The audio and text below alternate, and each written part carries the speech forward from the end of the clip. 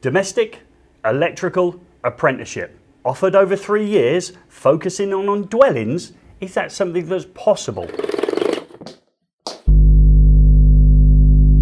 And today I'm back in Chelmsford. I'm joined by Simon and I'm joined by Luke from the ECA to answer that question. I'll start with you, Luke. Can I do a three year domestic electrical apprenticeship? This is the intention. From, uh, eight, uh, from Easter next year, hopefully, there will be the uh, release of the domestic electrical apprenticeship. Uh, it's currently in development uh, by industry, and uh, yeah, it's going to address lots of new low carbon tech. All right, so let's start there. So you're going to spend three years teaching somebody to fit sockets, light switches and down lights. That seems a very long apprenticeship and probably one the college would like to deliver because you'd have loads of times in order to do that, Simon. yeah, I mean, certainly our current apprenticeship is, is four years, so if that reduces the time, that would be very attractive to some individuals, some employers, and will meet a lot of local need. Yeah, especially for those companies only focusing on domestic. But it's not that simple, is it? What other elements had, uh, have they added to that apprenticeship? Well, this is where it gets uh, exciting for, for me anyway. Um, it's, it's looking to incorporate, because it needs to differentiate from the existing apprenticeship, so it's going to incorporate the elements of electric vehicle charge points, right. uh, elements of solar PV, ideally uh, energy storage systems, so batteries, uh, and lots of the low carbon solutions that are out there. Okay, I'll just stop there. I've taught in FE for 19 years. I've hit the panic button and I've hit it for you, Simon, because that sounded like very expensive stuff now having to be installed in colleges to train those learners. Yeah, I mean, certainly there will be an added resource cost there. I mean, we do get funding for our resources, but that's quite a lot of new resources we need to fund. Um, where we, we can, uh, with our apprenticeships, we will work with employers, and it may be for some of these resources, you work on site with employers' resources uh, and, and utilise their um, training areas or, or, their development areas, or they invest in partnership with someone to kit with us. Yeah, absolutely. And but it's exciting. So let's take the cost out of it because obviously that's going to be an issue. But that's exciting. I can now perhaps focus in on those areas with an apprenticeship that actually covers DC storage, solar PV, and EV, and come out of that with that apprenticeship.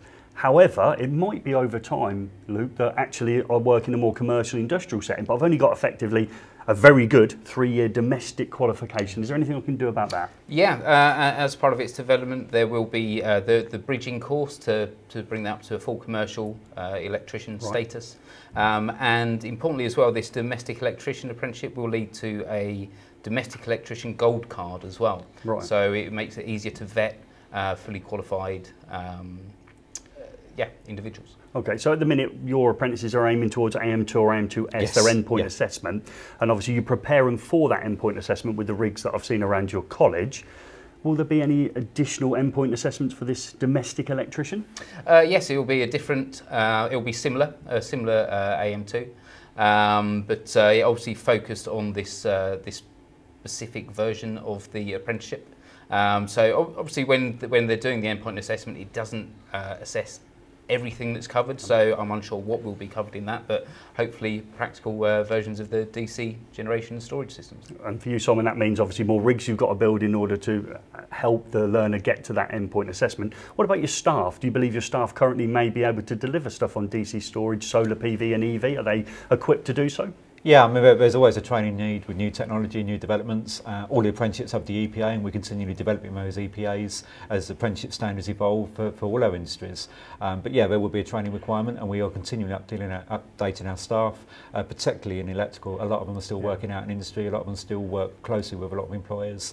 And of course, all of our assessors are out weekly yeah. with our employers seeing that new technology. So we are continually involved in, in the new developments. Yeah, and that employer link now becomes even stronger, doesn't it? If you've got an employer that's sending an apprentice in that style of apprenticeship, they're obviously doing that type of work. Actually, it might be a case of deploying some of the staff with them yeah. actually to continue that on-site training. I know I did it when I was in an FE setting, that you actually go back onto the tools in order to get your own skills upgraded. Absolutely, and we, we encourage all our staff to do that, and a number of them do. Yeah, which is really good. So, opportunity, continue on that story. Why is it so important that we add these extra skills into our domestic electrician in this world where maybe we're looking to reduce our carbon, Luke? Um, because the electrical contractor is definitely part of the solution to the problem of climate change. Right. You've got the next generation that are very in tune with this issue and uh, being able to showcase how they can develop uh, their skills to de deliver these technologies is going to be critical. We, we need increased numbers in this industry and showing them the, that it can be an exciting career, a stable career, a long-term career as well as being able to save the world. Oh, right. I like that save the world element. The electrician's going to save the world, yeah? Part of the Uh, solution. well, I think the T-shirt says "Electrician saves the world," the one that I'm getting printed for myself. However, I might be out there. I, I might have got uh, some electrical experience in a domestic setting. I may not have done a full qualification over the years, and the rules keep changing. But I'm finding myself in this emerging world. Is there anything like the old grandfather rights in order to, uh, as a, a maybe a more experienced person, take on this uh, domestic electrician route? Yeah, there, uh, in parallel with this, there is the development of uh, experienced worker assessment, Right. um, which is uh, which will be able to assess the current skills, um, identify the gaps, and then um, yeah, earmark any additional training that's needed. I mean, it's, it's really important that we move away from uh, just anyone being able to come in and do these short courses and then they become an XYZ installer.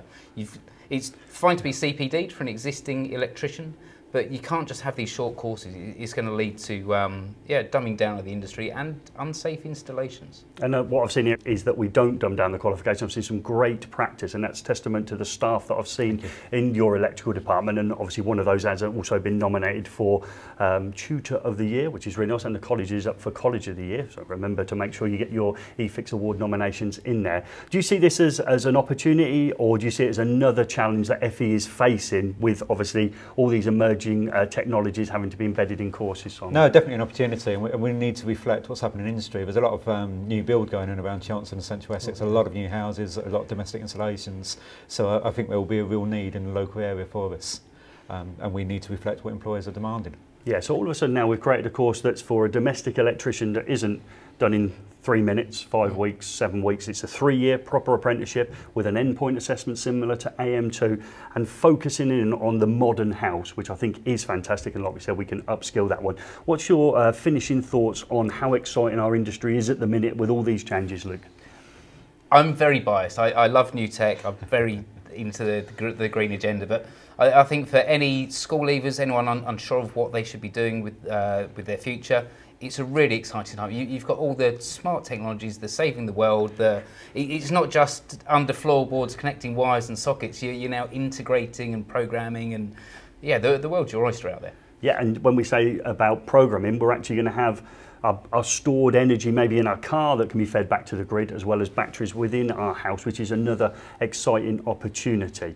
So, if I wanted to take on one of these courses, how, how long do you believe it is before this course will be available that we can be taught out of a college to become an, a domestic electrician? Well, we're hopeful this should be live by Easter. So it's, it's already going through the development process. So it's an industry-led um, group he's putting it together. So it's been uh, yeah pre-approved and uh, yeah pulled together as we speak. I'd just like to reach out to the government there from the college's behalf here, Simon. We'd like the funds to be able to deliver the quality course that the staff are doing currently in the, the guise that we've got as these electrical qualifications. Thank you very much, gents, for joining us today. Thank you. Thank you.